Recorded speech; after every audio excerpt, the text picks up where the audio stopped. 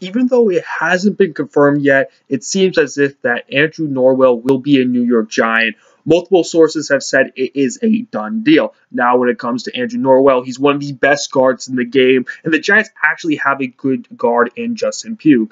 Now, whether they're doing this just to upgrade the guard position, to help out against facing the Philadelphia Eagles, or they're just going to replace Justin Pugh with Andrew Norwell. It's not really confirmed yet. However, though, whatever it is, Andrew Norwell is an upgrade from Justin Pugh.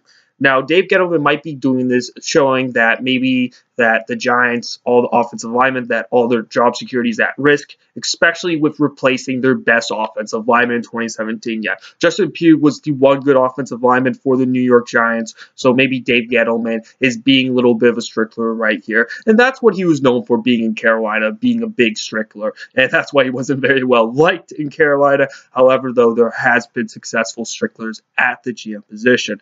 Now, when it comes to Andrew Norwell, I heard that he's a better run blocker than he is a pass blocker, but when it comes to his pass blocking, it's still pretty darn good. And when it comes to it all, a lot of people forget, you know, a lot of people want to point the finger at Eli Manning and whatnot. The run game was awful for the New York Giants this year, so they might want a big upgrade right there. And also, if they have Andrew Norwell and Justin Pugh, you're talking about a dominant run game right there. Whoever running back you're going to put on there, you're, you're going to see him have some moments here and there.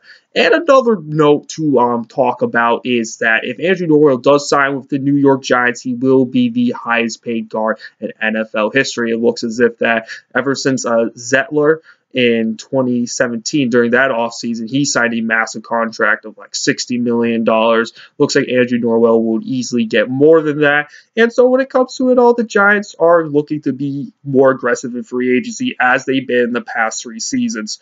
And one thing under Coughlin was during the Coughlin era, the Giants, yes, they did win two Super Bowls, but they were too passive on the free agency end. It looks like they kind of want to bring that um, um, kind of want to have that success back, but not being passive on the free agency. And I think that's one thing of the Coughlin era that they don't want to have. And you see that being aggressive in free agency, if you look at the 2017 Jaguars under um, the Coughlin's, under Coughlin's uh, reign right there, really, really helped the Jaguars' success right there.